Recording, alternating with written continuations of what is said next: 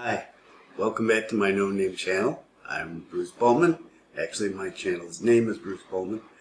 Um, and this is the first in uh, a series of talks, mm, lectures, but lecture sounds kind of formal, um, maybe a course, um, about anthropology. Why anthropology? Because I'm an anthropologist. Uh, and I've been asked many times, what is anthropology? And why are you an anthropologist? What is anthropology? It's what anthropologists do. What are anthropologists? People that do anthropology. Simple, right? Ah, well, I'm going to, in this video, this is the first introduction, uh, and I'm going to talk about what anthropology is so that you've got a general idea. And then in subsequent videos, I'm going to talk about different fields of anthropology, the history of anthropology, some famous anthropologists, the anthropological methods of, of work, and talk about some cultures that I've worked in and uh, videos that I have, things that I've learned, some books. Uh, so it's going to it's going to cover a lot of what traditional uh, anthropology course would cover, but short. So not as in, in as much depth. I like to keep uh, videos relatively short. I've done some really long ones. I can talk. Once I start talking, I can talk and talk. Um, I want to keep these down to mm, 15 minutes or less, uh, ideally. Um, I follow some videos where they're 40, 50 minutes, but mm, yeah, I want to keep them short. And so you can come in, you can you can do a, a quick listen while you're doing something else. Uh, there, I'm going to have images and videos on this as well. Um, reading, I'm going to suggest some books if you'd like to read uh, some anthropology books. But you don't have to read anything if you don't want to. You can just listen. And by the time we get done in, I don't know, 10, 15 videos, you'll get an idea of what anthropology is, what we do, and some, uh, some actual examples of uh, anthropology in action. And why am I talking about this? Well, I'm a cultural anthropologist I have a PhD in anthropology from UC Berkeley, University of California, Berkeley. Uh, did my undergraduate, BA and MA, both uh, in anthropology from University of Illinois, which was at the time called University of Illinois Chicago Circle, and is now just called University of Illinois Chicago. Um, I guess it sounds better. Who knows? Uh, so let's get into um, what anthropology is. So, what is anthropology? Well, anthropology comes from Greek words uh, anthropo, which means human beings, and logia, which means uh, knowledge of or the study of. So, the study of human beings. Now, anthropology used to be called the study of man, uh, but what about the other 50% or little more of the population? So, the study of humans, the study of humankind. That's anthropology. And there's some cool definitions, and uh, I'm going to put these definitions up here on the screen so you can see them. Um, I picked out some that I like, some because they're simple, some because they're uh, a little more inclusive of what we actually do, and then I have a favorite one out of this. So Simple one from Triton College. And Triton College is uh, close to where I used to live uh, in Illinois. Uh, anthropology is the study of humans in all areas and in all periods of time. Ah, so, okay, nice and simple. And let's put these here. And um, Western Kentucky University. Anthropology is the study of human culture and biology in the past and present. And um, Eric Wolf. Eric Wolf a famous anthropologist wrote some, some really uh, fascinating books. And he says anthropology is less a subject matter than a bond between subject matters. It is part history, part literature, in part natural science, part social science. It studies, it strives to study men, both from within and without. It represents both a manner of looking at man and a vision of man, the most scientific of the humanities, the most humanist of the sciences. Uh, and if you heard the, the man in there, uh, this was uh, written a long time ago.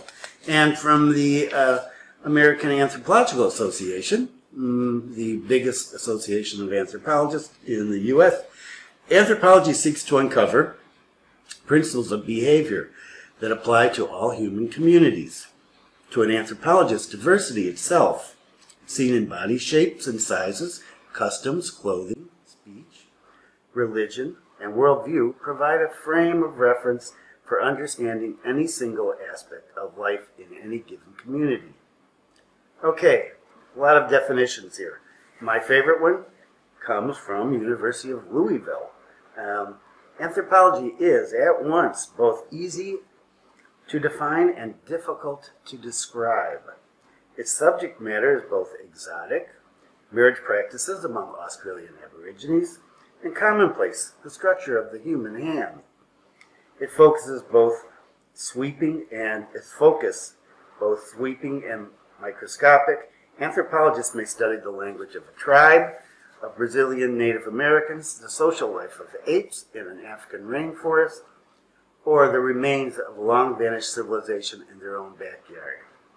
But there is always a common thread linking these vastly different projects, and always the common goal of advancing our understanding of who we are and how we came to be that way. In a sense, we all do anthropology because it is rooted in a universal human characteristic curiosity about ourselves and other people, living and dead, here and across the globe. And that sums up pretty much how I feel about anthropology. Um, why did I become an anthropologist? Well, that's a long story. Maybe we'll get to it as we go through these um, these talks. Mm, but one of them was certainly curiosity, uh, curiosity about ourselves, myself, and other people. Um, okay, so um, it's the study of humans, uh, humankind. Well, there's a lot of social sciences that study humans and humankind. Uh, psychology, sociology, geography, political science, economics. All of those study humans and human behavior. So, what makes anthropology any different? Well, we're different because, as I like to say, uh, when people ask me why I become an, became an anthropologist, uh, we can study everything. We're disciplined that bridges the natural sciences and the social sciences and the humanities. One of our most famous and influ- influential anthropologists was Clifford Geertz. Um, he was as much a humanist as he was a, a social scientist.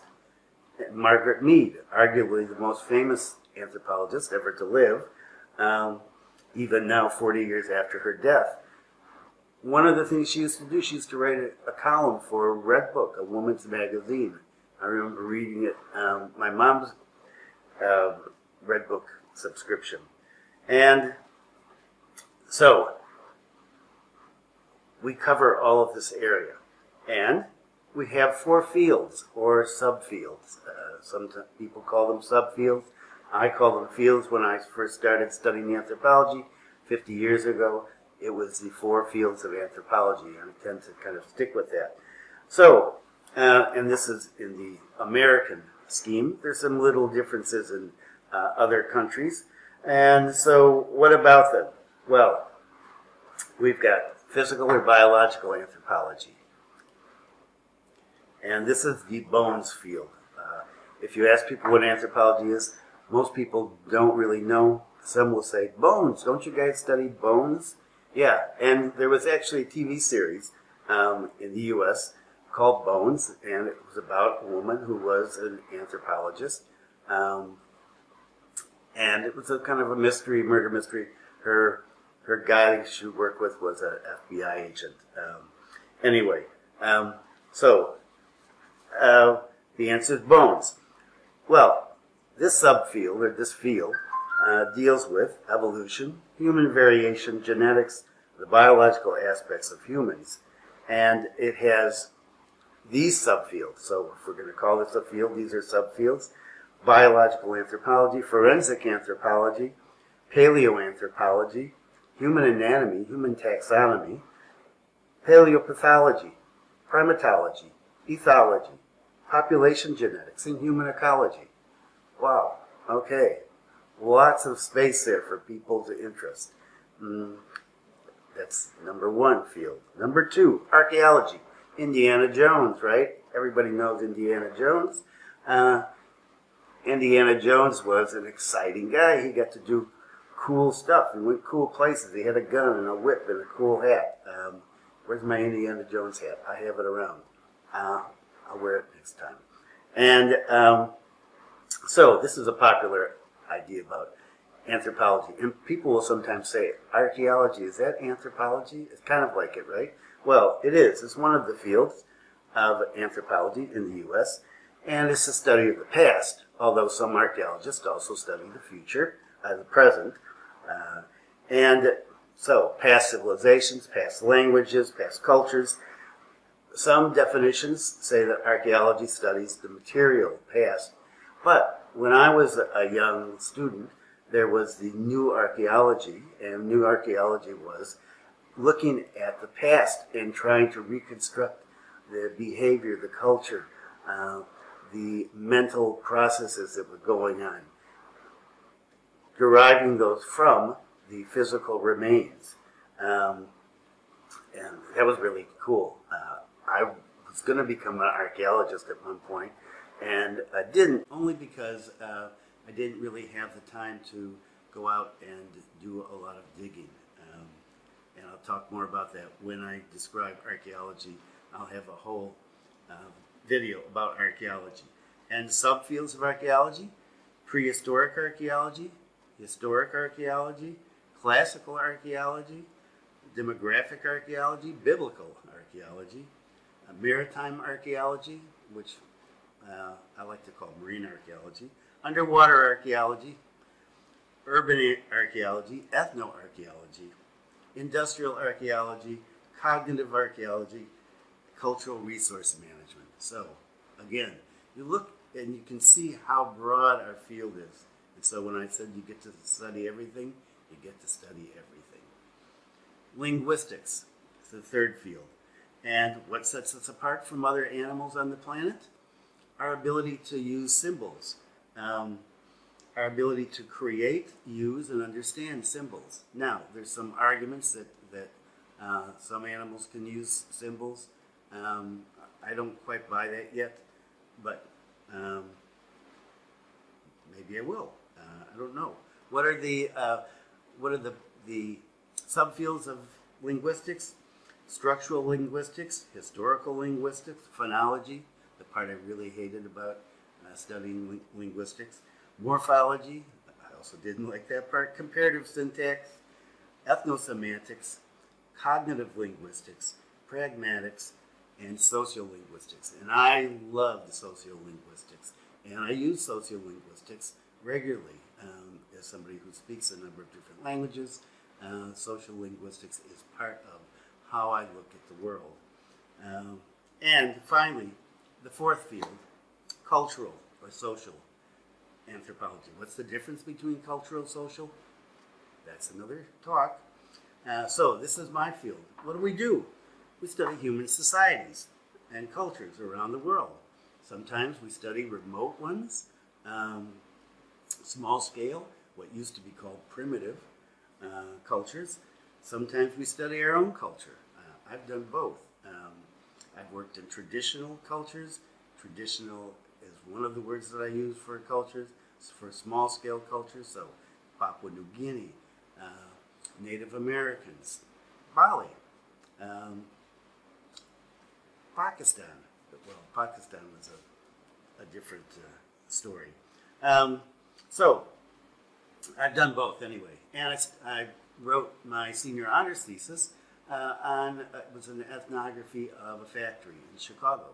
So uh, I've I've done all of this. I'll talk about some of the cultures I've studied uh, as these videos go along. And my current research right now is digital uh, anthropology. And I'll talk more about digital anthropology later because it's really interesting and especially in these coronavirus times, it's one way that a lot of anthropologists have to work. And so what are our subfields in cultural anthropology? Ecological anthropology, demographic anthropology, economic anthropology, political anthropology, legal anthropology, anthropology of religion, psychological anthropology, medical anthropology, urban anthropology, ethnomusicology. I know an ethnomusicologist right here in Bali, um, the brother-in-law of a friend of mine. Uh, anthropology of art, ethnopoetics, and uh, applied anthropology. And I kind of applied anthropology. Kind of put in out there somewhere. It's almost like a a fifth field, but not really. Uh, and I'll try to explain that in more detail later. So, um, what do I what do I do? Um, out of all these subfields, uh, I do anthropology of art a little bit. Um, you can see some of the things I have here: paintings, masks, um, bags, nokens. Uh, um,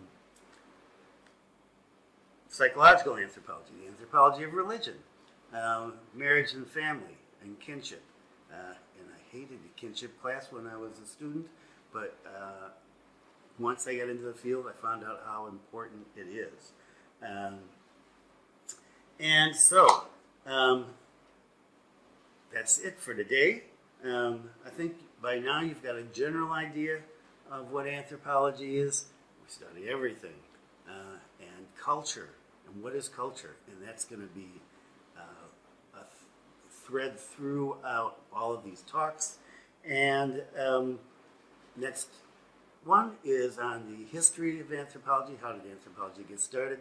And I'm going to talk a little bit, well, about physical anthropology or uh, biological anthropology in a little more detail to give you a little better idea of what that is. So, if you're interested in studying anthropology, um, I hope that this is going to be helpful. Uh, if you just have a general interest in anthropology, same thing. Um, so, uh, I hope you come back, and uh, if you've got any comments, let me know. Um, always good to hear things, and uh, thanks for visiting.